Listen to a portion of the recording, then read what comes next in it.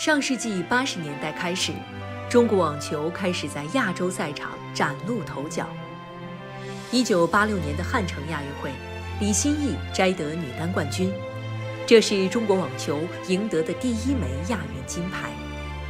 四年之后的北京亚运会上，中国男子网球全面爆发，潘冰领衔的男队收获了男子项目的全部三枚金牌，而潘冰在四年后的广岛卫冕了男单冠军。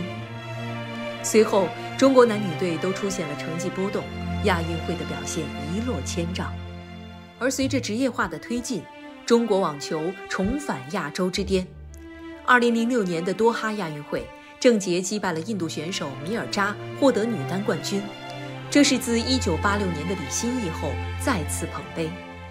二零一三年，二十一岁的王强开始出现在国际网坛，逐步走进人们的视野。